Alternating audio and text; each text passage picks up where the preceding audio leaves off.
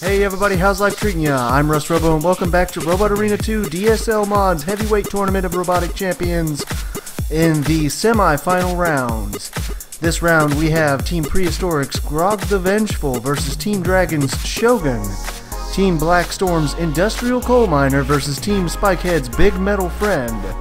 Team High Voltage's Wide Load versus Team Z's Eye Stabber and Team Megaton's Undead Beat versus the Team Scrapper's Backyard Shredder.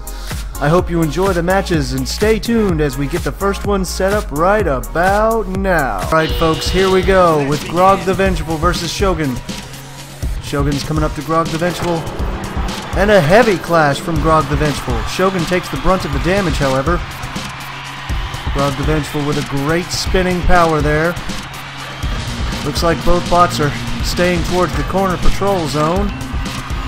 The crowd's going wild as Shogun takes massive amounts of damage, but manages to keep Grog the Vengeful off of his center axis. If he can slow his spin enough and perhaps flip him, he might stand a chance. Grog the Vengeful over towards the center hazard now. Not sure if anything's going to get dropped down. Both bots need to be careful of the arena hazards. Looks like Shogun's missing one or two of his five blades. Grog the Vengeful has been flipped a few seconds ago. He is now in big trouble. Shogun's definitely going to try to capitalize on that, pushing Grog the Vengeful into the corner. He's lost. Shogun has lost his flags now. Grog the Vengeful being pushed around by Shogun, but Shogun definitely doesn't want to flip him back over by accident. Oh, Shogun getting hit by the um, by the saw blade traps on the edge of the arena. That's going to cost him a little bit. Now Shogun definitely looks like we've got Shogun at 27,000 points, just over 28,000. Uh-oh. Looks like he's only got one sword left. Can he pull this off? Grog the Vengeful with 24,000 points. If Shogun actually just leaves Grog the Vengeful, which he honestly should, he'll just win by points during the countout, but it looks like he's going for vengeance against Grog the Vengeful. Grog the Vengeful now receiving a count out. Looks like uh, Shogun's just going to pin him there and take it, take the win. All right, we've got one for Shogun. Very good match. Team Dragon Shogun with over 30,000 points there for the win. That's one for Team Dragon Shogun. Let's get the second match going right about now.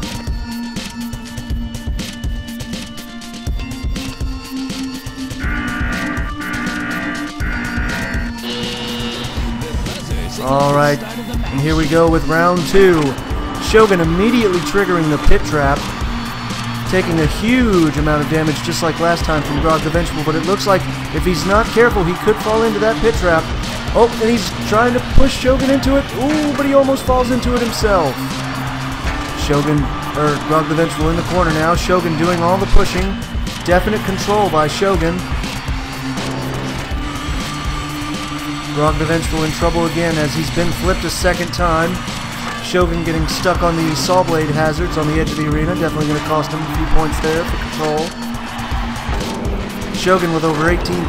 Grog the Vengeful trailing at 13,000. The arena flip trap, uh, a flip trap triggers, but no one is flipped. Looks like Shogun's still trying to get Grog the Vengeful over to the pit, but no pit for Grog the Vengeful. Shogun still controlling this match, going for point scores. Amazing um, what some control from a good bot like Shogun can really do. Grog the Vengeful definitely on the losing end of this match now. It seems he's even lost his um, anti-flip flipper. And Shogun's just going to keep controlling this match until he either wins by timeout, point count, or accidentally flips uh, Grog the Vengeful over, which may happen, but even if he does, I don't know if it will save Grog the Vengeful since he's so behind on points. Shogun taking massive amounts of damage from being stuck on the saw blade traps. If he's not careful, he could have gotten counted out there, but it looks like he um, got himself out of it, and he's, ah, he sees Grog the Vengeful getting counted out finally. His AI is kicked in, and he realizes that the match is all his. I'll get that written down, and we'll be right back with the next one. Alright folks, and we're back with Team Blackstorm's Industrial Coal Miner versus Team Spikehead's Big Metal Friend. Let's see what these two bots can do. I just realized I wasn't looking at the camera at all in that last round. I was literally just focused on controlling the camera so that I didn't lose sight of the bots. Both bots coming in strong. Industrial Coal Miner looks like he's racking up points uh, slowly but surely. Uh, DPS type, damage per second type on that one. Uh, Big Metal Friend going for the slow but heavy hits. Both bots up against the uh, corner patrol zone. Looks like Big Metal Friend probably took some uh, damage from the Sawblade traps there. Ooh, Industrial Coal Miner's got a really good angle on Big Metal Friend now. This could mean the match. This could be the whole match right here. Looks like Industrial Coal Miner's going to take advantage of that. Ah, but um, Big Metal Friend being invertible still is able to just barely move. Industrial Coal Miner not liking that. To go in and tear him up some more. More damage from Industrial Coal Miner. Ironically enough, the point count for these two robots being uh, very close. It looks like, let me try to get, I want to get that corner angle, but I just, I'm scared to lose the shot. Looks like we've got a count out for both bots now with uh, Big Metal Friend. Um, yep, that's it. That's it for him. Industrial Coal Miner took a lot of damage in that round, though. I feel like that could have gone either way. But the first round goes to Team Blackstorm's Industrial Coal Miner. Alright, let's get that written down and start up with round two.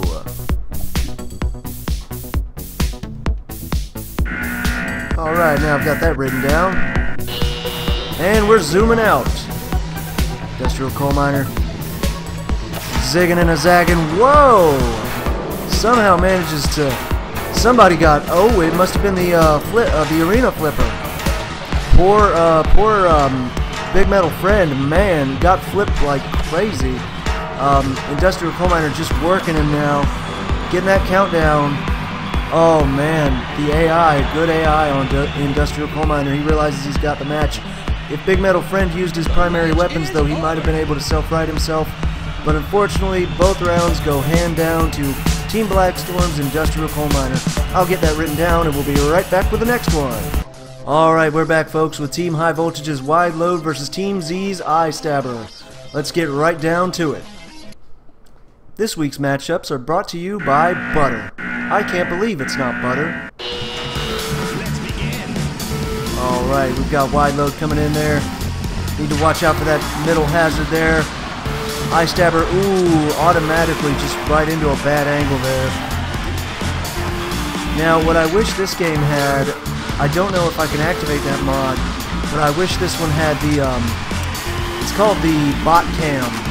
It just hovers directly over the two bots fighting, and it's always very accurate, so me controlling the camera is okay, but the NPC controlling it is much better. We've got both bots stuck up on the flipper. Looks like, um, they're going to need to back up and get out of there. Eye Stabber taking massive amounts of damage. Looks like he's about to get flipped, and there he goes. Whee! More like Fly Stabber. Oh, that sounds terrible. I hate myself. oh, God. But uh, Eye Stabber, he keeps getting stuck on top of Wide Load. Wide Load dealing massive amounts of damage. Eye Stabber definitely in a bad spot. He wants to get in behind Wide. Uh, whoa, boy. Never mind. He wanted to get in behind Wide Load. That is what he wanted to do. Okay, round two coming right up.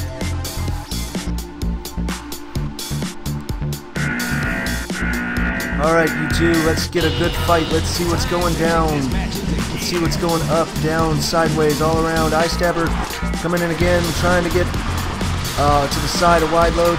If you could just drive over him and turn around, the Wide Load's going to get all of that nasty damage up underneath the chassis. Woo, racking up them points fast. And then he just drops him. Poor Eye Stabber. Just total type matchup here for Eye Stabber. Definitely in a bad position. Does not look like he's going to be able to do anything against Wide Load in this one. Oh, now he's got it turned around if he could just get behind him. Nope, no such luck. Mmm. Man, put weapons on the underside of that thing. Poor Eye Stabber. At least he's using his primary weapon to try to move and get mobility. Immobility warning on Wide Load. I'm pretty sure he can still move. Or can he? Up, oh, there he goes. Okay, both bots backing off now and for another charge. But Wide Load, mmm, just um, with those drums, just uh, I think they're rotating I I guess it'd be counterclockwise, and it kicks the bot up, which is a good way to get up underneath them. Uh, hands down to wide load. I'll get that written down, and we'll be right back with the final match. Alright folks, we're back with Team Megaton's Undead Beat versus the bot that beat me, the Scrappers Backyard Shredder.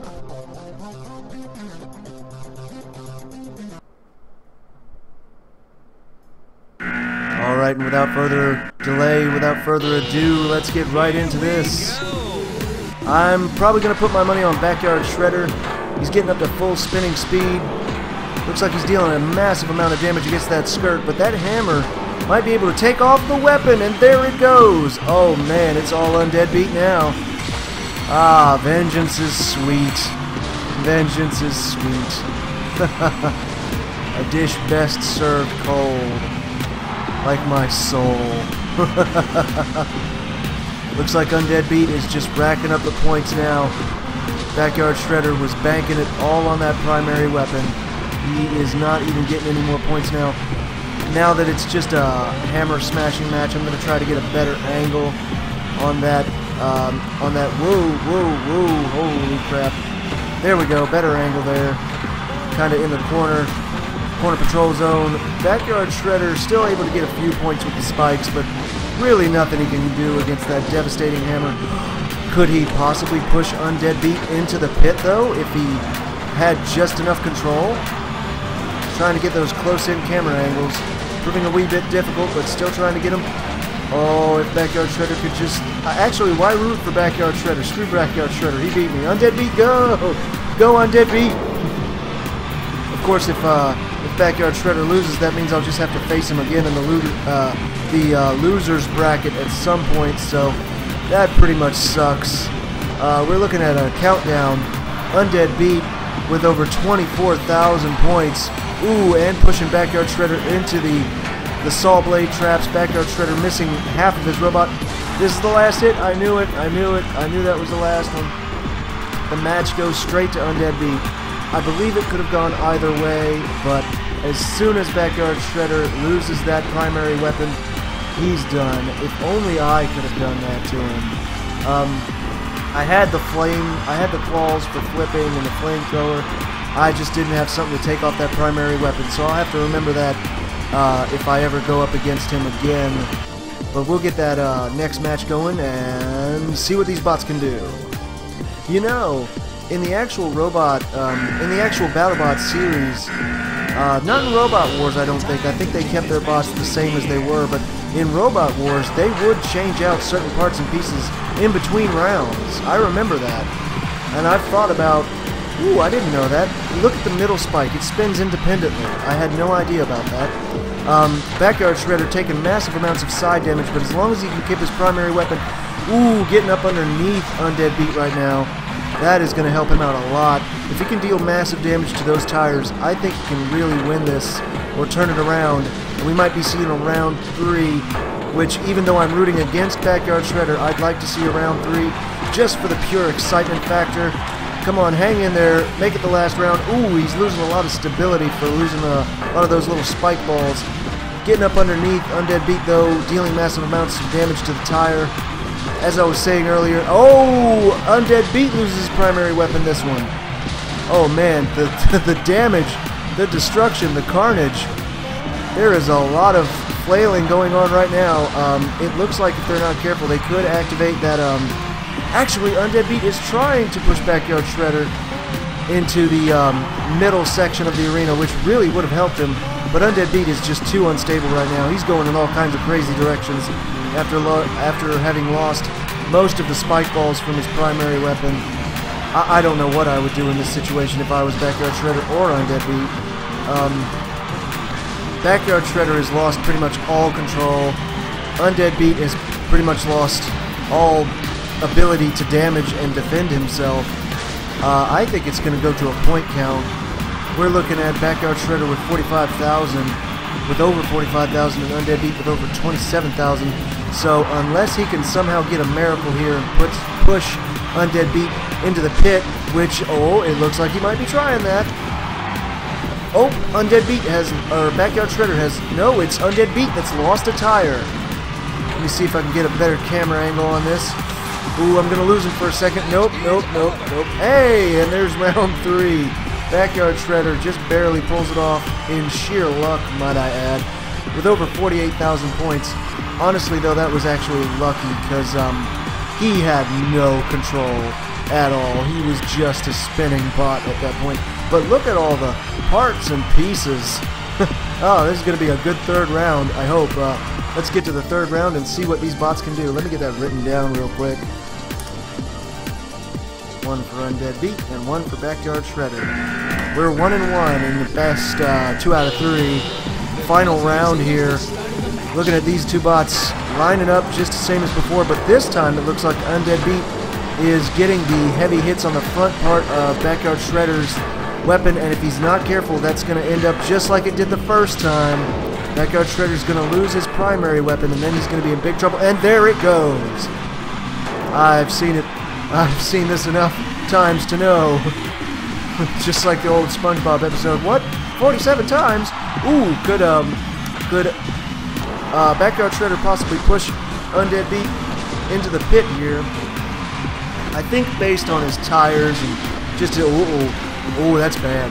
Oh, oh, that's bad. Looks like I'll be facing uh, Backyard Shredder in the losers bracket now. Um, Undead Beat is just Ooh. Um, scoring hit after hit uh, on the underside of that chassis. Oh man, and Backyard Shredder's taking like saw blade damage. I'm pretty sure this is it. He's lost two tires. There went the second one just now. Uh, and a countout's going. And he's taking saw blade damage. This is hard to watch. Uh-oh. And there's his control CPU, and it's done.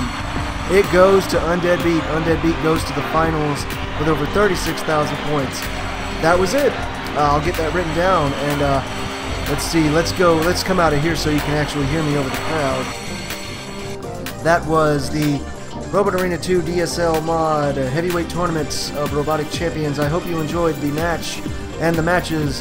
If you did, make sure to subscribe for updates on future content. Leave any helpful comments you might have in the comment section below. Likes always appreciated. Until next time, take it easy, my friends.